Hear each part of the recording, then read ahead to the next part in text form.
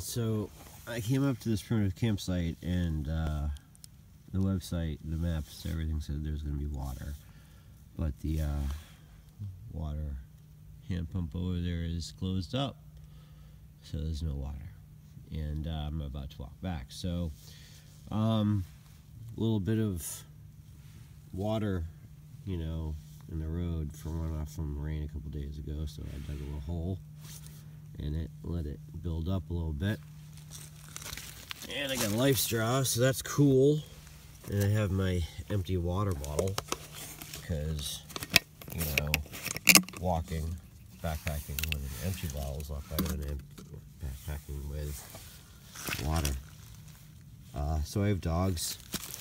So this is a dog, portable dog uh, thing. I'm just gonna fill it up with water. Fill that up. Pour it right.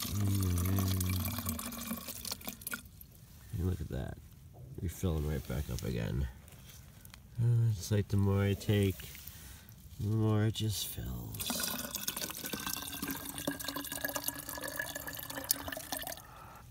some people at home might be like, oh my god, that's so disgusting. That is life. Murky, dirty life. But um it is, you know, so you know, you gotta have it. So this is a LifeStraw, right? And uh pretty simple stuff. Pop it I could stick it right in there and drink from it. Or what I discovered and I like to do is I just stick it right inside. And blam, I have portable water, purified.